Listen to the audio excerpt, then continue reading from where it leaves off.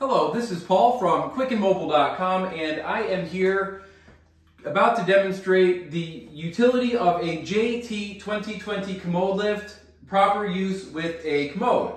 Before we do that, this is a great opportunity to pause the video to learn where to find us online, quicknmobile.com.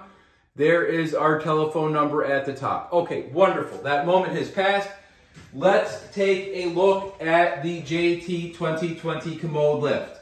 Now, of course, if there was a person in this lift and you were using it for toileting, you would have the toilet seat up. And if you left the lift this high, you would be creating a disaster. So we have the handy remote right here. You would be using the remote to lower down the person and the lift typically about one centimeter above the actual toilet level.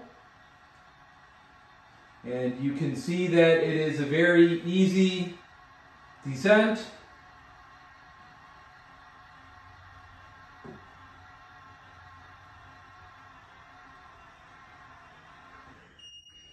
That is exactly how that would work. You can see that that would create a very mess-free and easy toilet in, toileting experience. And then when done, when completed, it is very simple just to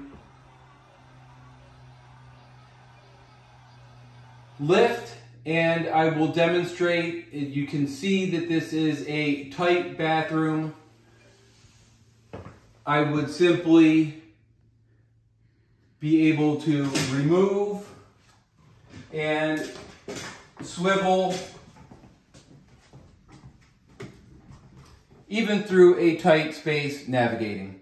So there is your demonstration of the utility of the JT 2020 shower chair and portable commode lift. One more opportunity to learn where to find us online. Thank you for watching.